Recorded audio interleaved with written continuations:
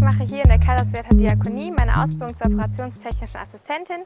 Ich bin im dritten Ausbildungsjahr und möchte euch jetzt meine Arbeitswelt zeigen. Als ich das erste Mal im OP war, habe ich mich zunächst verloren gefühlt, wusste nicht so richtig, was ich machen soll und hatte das Gefühl, dass ich total doof rumstehe. Aber ich muss sagen, ich habe mich sehr schnell eingefunden.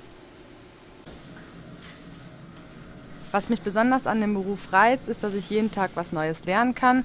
Ich trage zwar auch eine große Verantwortung, zum Beispiel auf die Dokumentation zu achten, weil die eben total wichtig ist, aber dafür sehe ich auch total viel und es macht halt mega Spaß, den Ärzten zu helfen.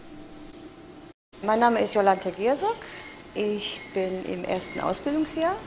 Ich bin 45. Ich habe schon eine Ausbildung absolviert als Friseurin, wollte dann halt neu starten und habe mich dann entschlossen, die Ausbildung äh, zur Altenpflegerin halt zu machen. Ich habe ein einjähriges Praktikum gemacht.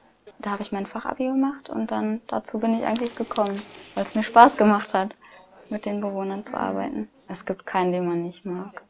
Sie erzählen ja auch viel, auch von früher. Ja, mein Name ist Leila Mörchen. Ich bin 24 Jahre alt, habe drei Kinder und komme aus Wuppertal. Ich bin jetzt im zweiten Ausbildungsjahr in der Ausbildung zur Podologin Langfristig möchte ich mich definitiv selbstständig machen. Jetzt erstmal noch als Angestellte arbeiten, also nach der Ausbildung, um noch Erfahrungen zu sammeln.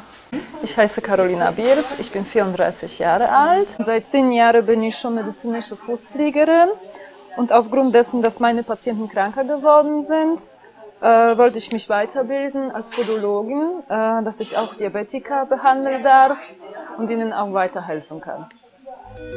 Ich mache meine Ausbildung hier, weil die Kaiserswerther Diakonie einen guten Ruf hat und sie viele verschiedene Ausbildungsberufe anbietet.